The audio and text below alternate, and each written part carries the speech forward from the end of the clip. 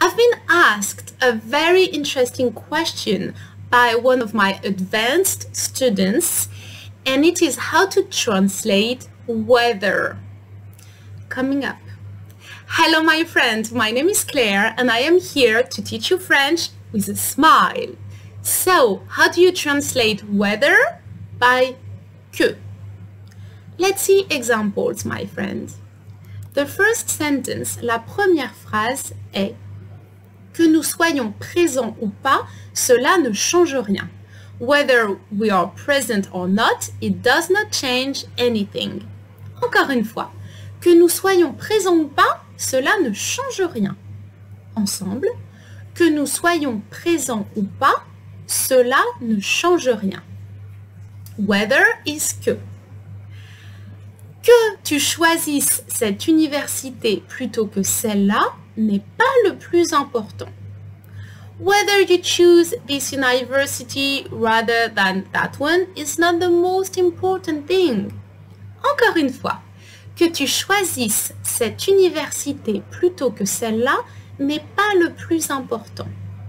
Ensemble, que tu choisisses cette université plutôt que celle-là n'est pas le plus important.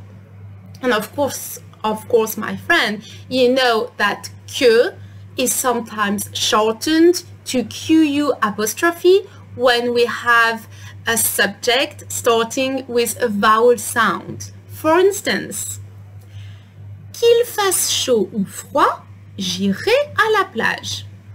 Whether the weather is hot or cold, I will go to the beach.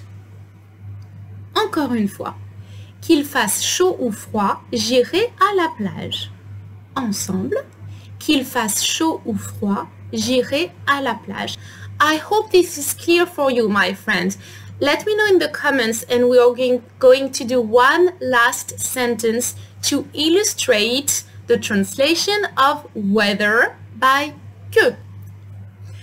Que vous parliez plus fort n'y changera rien. Je ne comprends pas votre langue. Whether you speak louder will not change anything. I cannot understand your language. So language is long here. It can be langage as well. Encore une fois, que vous parliez plus fort n'y changera rien. Je ne comprends pas votre langue. Ensemble, que vous parliez plus fort n'y changera rien. Je ne comprends pas votre langue. And my goal is to understand you and help you and be of service to you, my friend. So please let me know if you need additional explanations about this or another subject in French. I am available for one-to-one -one lessons on Preply. The link is below. And I see you very soon on French is a smile. Bye-bye.